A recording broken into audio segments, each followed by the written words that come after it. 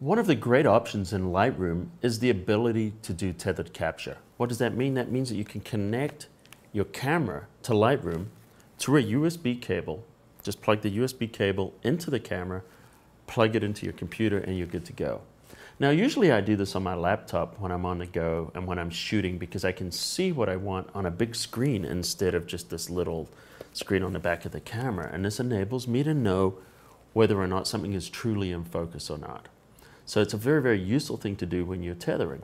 So I'll show you how easy it is to start your tethered capture here. We're just going to go into the Lightroom here, and then we're just going to choose File, and we're going to choose Tethered Capture, Start Tethered Capture. And now you're going to see this option here. This option is going to enable you to name it, and we're just going to go Studio Session right now. That'll be fine.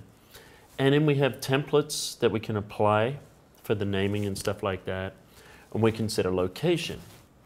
Now, one of the things you've got to be aware of, because sometimes when I'm doing tethered captioning, it's happened to me a few times when the cable accidentally pops out of the camera while you're shooting. Now, if that happens, you can either stop and then plug it back in or just keep shooting. Because what happens is it will shoot anyway onto the compact flash card, and then any of the shots you didn't manage to tether will be on the card, and then when you import it, just make sure that it ignores suspected duplicates. Otherwise, you're going to have two copies of each on your, um, on your machine. So anyway, let's go ahead and we're going to go under here and I'm just going to click OK. And now I'm ready. Notice there that it's got my camera. It's picked it up as a Canon 5D Mark II. And here's the settings on the camera. It's showing my ISO set to 400. And let's have a look here. Let's aim up at something. I'm just going to zoom in and out. I'm going to zoom in a little bit.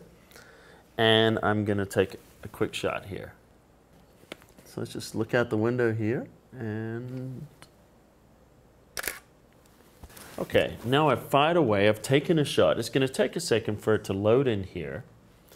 And, um, and there we go. There's a shot that I just took, and it's showing the information that I did there. Now, typically on my laptop, it's a lot faster than this. I'm using an older Mac Pro right now. It's a little bit slow.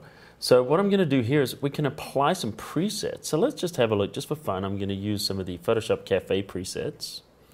And I'm going to try our Contrast Underworld. It's just kind of a fun preset I, I created. And so what I'm going to do now is I'm just going to take another shot. I'm just going to line it up, shoot out the window. There we go.